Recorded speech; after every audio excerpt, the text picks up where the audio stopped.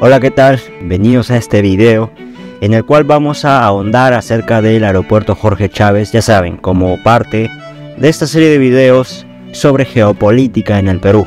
Entiéndase a la geografía humana y a la geografía física, así como las decisiones que se tienen que tomar para poder darnos bienestar a cada uno de nosotros. Entonces, veamos, el puerto del Callao se encuentra acá en, este, en esta pequeña figura donde se ven los distritos de, de Lima. Claro que cada distrito ahí se está representando su población por medio de un, de un círculo de color celeste. Si es un color verde, significa que hay una menor población, pero más o menos ambos hacen referencia a zonas urbanas, ¿no? Todo Lima es urbano, no siendo así el caso del interior del país donde existen muchas zonas rurales, ¿no? Cada punto de color amarillo o naranja o rojo son zonas un tanto rurales, ¿no? Donde no hay pista, no hay agua, no hay electricidad quizás. Entonces son dos realidades distintas. En el caso de, bueno, en provincia, los distritos tienen más de un centro poblado, como ven, ¿no? En cambio, al ser en Lima los distritos cubiertos 100% por un área urbana, entonces mm, todo el centro poblado, los múltiples centros poblados, al, final se reflejan en uno solo. Por eso cada distrito, dentro de la categorización de INEI, pues tiene un centro poblado en el caso de Lima.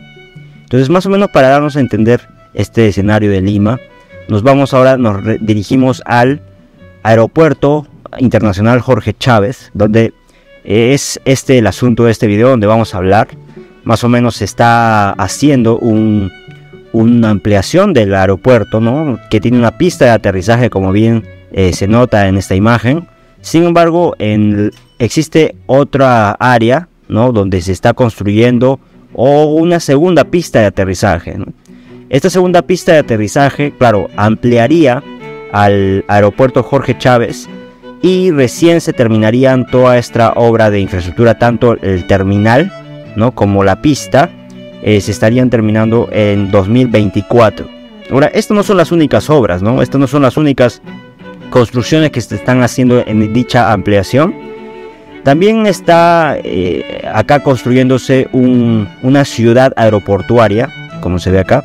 Y esta imagen más o menos nos muestra todas las actividades que se están haciendo en construcción. Por ejemplo, acá vemos la extensión total proyectada del aeropuerto. Esta es el área terminal de pasajeros que ya existe, donde se ve ahí con líneas inclinadas.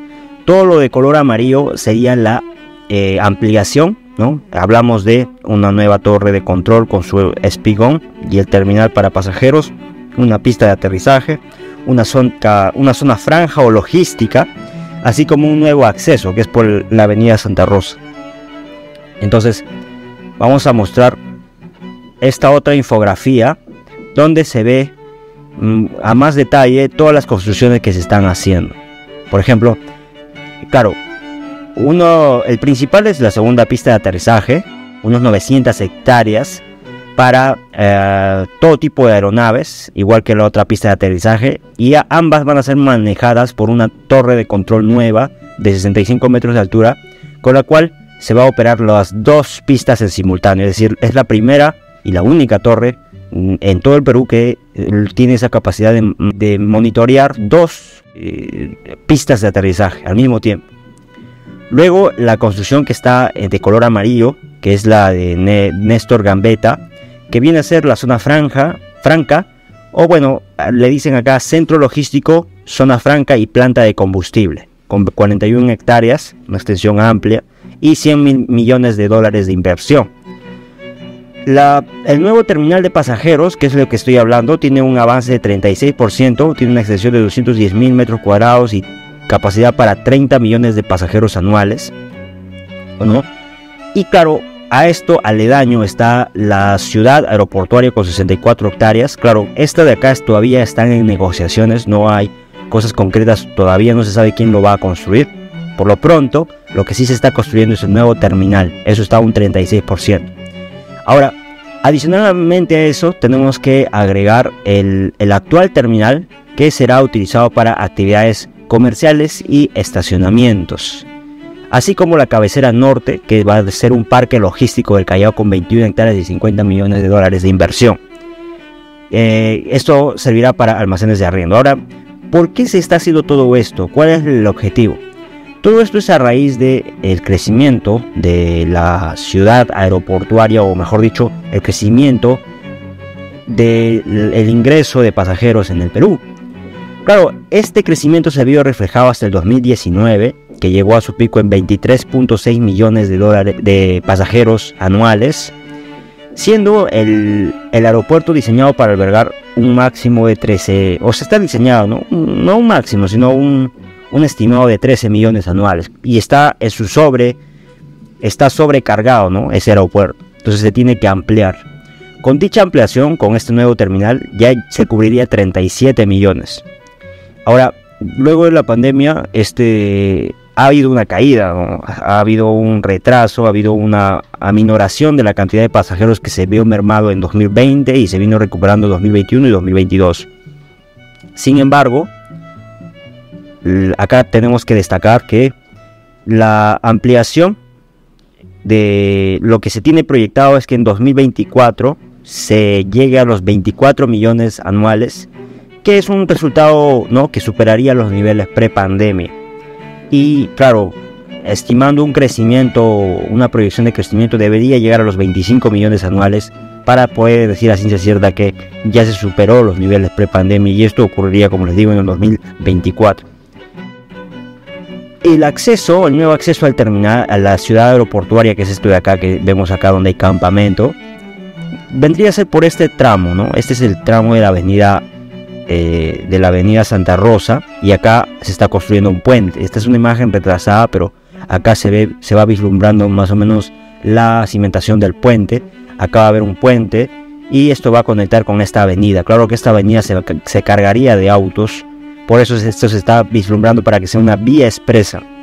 Una vía expresa que cruzará el RIMAC y llegará hasta el aeropuerto, hasta la ciudad aeroportuaria y luego al terminal que ya tiene un 36% de avance y finalmente ya se abordarían desde aquí los aviones. Bien, entonces más o menos esa es la proyección de lo que se está haciendo. ¿Quién está a cargo de estas construcciones? Pues está a cargo de la concesionaria Lima Airport Partners o LAP. Lima Airport Partners. Las obras de conexión todavía no están adjudicadas, están manejadas por el MTC, por el Ministerio de Transportes y Comunicaciones con quien se otorgaría un contrato de modalidad obra por impuestos para poder dar a cargo eh, a postores interesados pues la adjudicación de la conexión al terminal ¿no? con la ciudad. Esta conexión, claro, esta vía expresa conectaría el aeropuerto con la Costa Verde, o sea, tendría que ir por esta vía hasta llegar a la Costa Verde. Esa es la idea, ¿no? Que llegue más o menos hasta acá.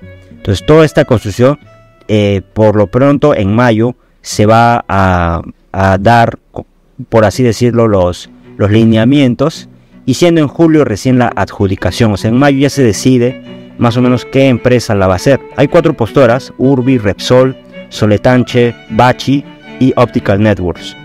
Esas son las cuatro empresas que están todavía como postores, puede, puede aparecer uno más, no sé pero una de ellas en julio pues va a finalmente a, desarrollar esta obra vial para conectar el aeropuerto con la Costa Verde. Todo esto más o menos costaría unos 819 millones de soles y se iniciaría en dos, a finales de 2024 empezando 2025. Esta sería una vía expresa, como le dije, bajo la modalidad eh, de gobierno a gobierno en el caso de la construcción de toda esta vía expresa. Ahora, el puente sí, este puente de Santa Rosa sí debe estar construido junto con el terminal antes del 2025. A finales de 2024 ya se debería estar ahí el puente listo. Y también acá tenemos que hablar que hacer una obra como la que estoy mencionando de semejante envergadura de todo este distrito del Callao beneficiado por el aeropuerto implicaría ¿no? un tráfico de pasajeros tan alto en Lima que eh, sería como un cuero de botella para los otros aeropuertos en el Perú. Por ello se está destinando más o menos unos 35 millones para mm, ampliar el aeropuerto de Arequipa. Esto es a través de aeropuertos andinos del Perú. También se está hablando de una inversión de 120 millones de dólares para ampliar el aeropuerto de Juliaca, así como el aeropuerto de eh, Puerto Maldonado en Madre de Dios, con, una, con un estimado de unos 35 millones de dólares ¿no? para mejorar eh, o ampliar, mejor dicho, el aeropuerto. Eh, claro, no, ah, eh, esto aumentaría la carga de pasajeros no solo en, este, en estos aeropuertos, sino en todo el Perú, donde todavía no existen más detalles al respecto. Bueno, ese ha sido todo el comentario del día de hoy respecto al aeropuerto Jorge Chávez. vamos a seguir acá hablando ¿no? de obras de infraestructura, de geopolítica, así que por favor, deja tus opiniones en la sección de comentarios, danos ahí los detalles de tu o, qué opinas, eh, cuáles son tus impresiones y nos vemos pues en un siguiente video. Chao.